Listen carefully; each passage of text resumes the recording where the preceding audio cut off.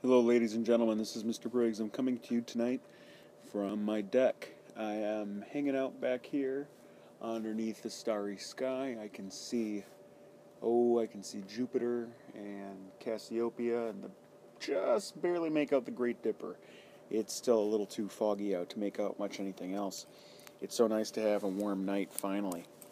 Um, we're going to do lesson uh, filling and wrapping 2.0 today.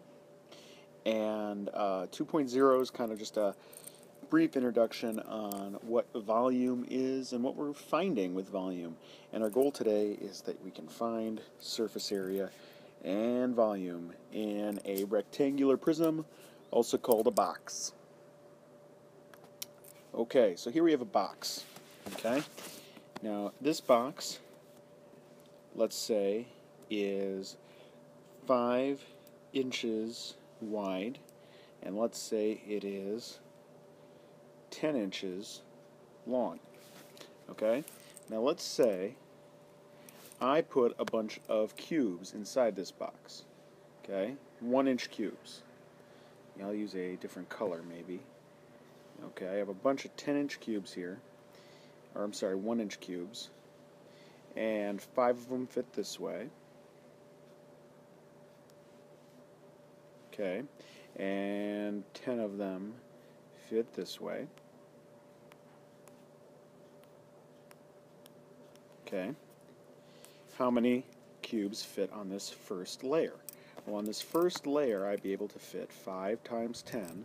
I would able to be I would be able to fit 50 cubes on the first layer.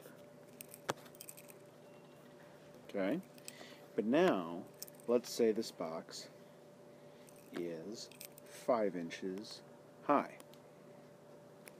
Now, I've got to figure out how many cubes will this whole box fill. Well, if it's 5 inches high, I can make how many layers? Okay? Go ahead and play Dora the Explorer and answer me. If each layer is 1 inch and it's 5 inches tall, how many layers can I fit? Well, 5 layers.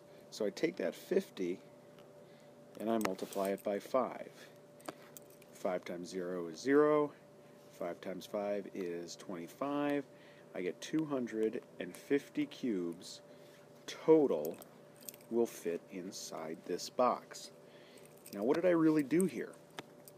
Well, I multiplied the length of this box by the width of this box by the height of this box. And that leads us to finding the volume of the box. How many cubes will a box hold? And that is where we have our super awesome tool number two. And our super awesome tool number two is finding the volume of a rectangular prism or a box. Now, uh, volume is a fancy way of saying how much will it hold. Okay? Now, how much will it hold?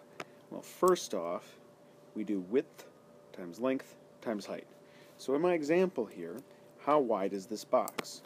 Well, let's uh, label things here. If that's my width, and that's my length, and that's my height, I would do 3 for my width, 5 for my length, times 8 for my height.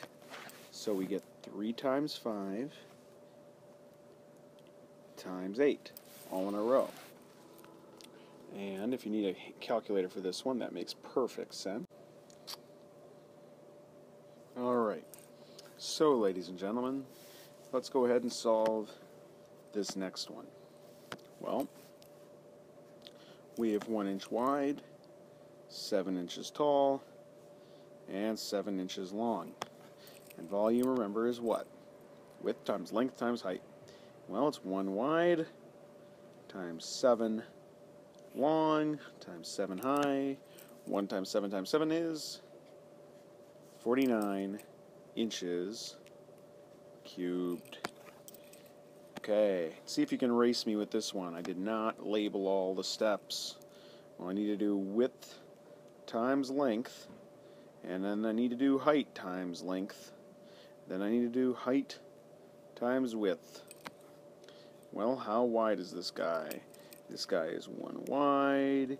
He is seven long. He is seven high. He is 7 long. He is 7 high, and he is 1 inch wide.